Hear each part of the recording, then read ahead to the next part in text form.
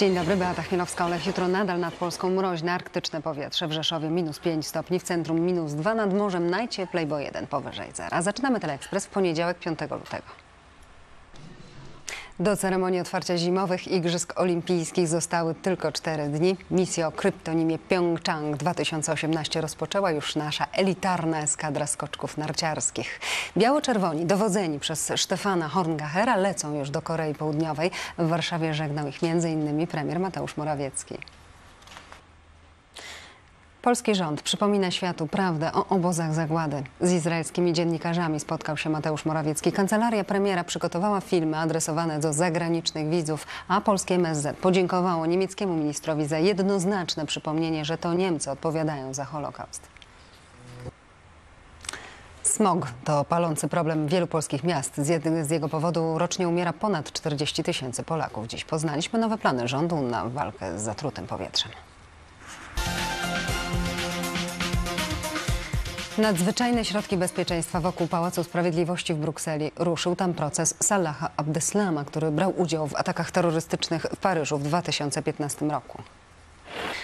Wracamy do kraju, bo tu też zima daje się we znaki, zwłaszcza w górach. Śnieg zasypał szlaki, wzrosło zagrożenie lawinowe. W nocy ratownicy ściągali z Babiej Góry w Beskidach dwoje turystów, którzy schodząc zgubili szlak. Kobieta poślizgnęła się i skręciła nogę.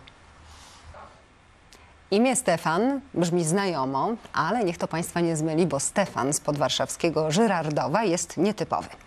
Nie dość, że waży 200 kilo, to jeszcze ma dwa garby. Młody miejski wielbłąd szykuje się do występów w żywej szopce. Niewiele jeszcze umie, choć podbijać serca już tak.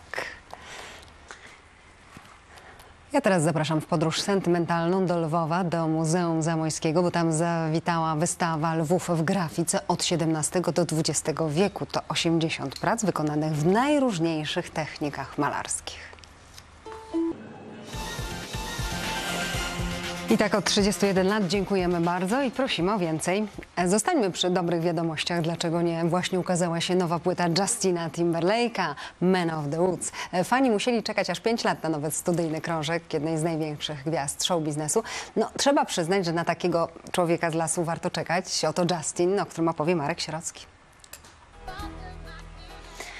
Zostańmy jeszcze z Justinem Timberlake'em. Kompozytor, piosenkarz, aktor bardzo jest zapracowany. W nocy na przykład wystąpił podczas zorganizowanego w Minneapolis finału Narodowej Ligi Futbolu Amerykańskiego Super Bowl.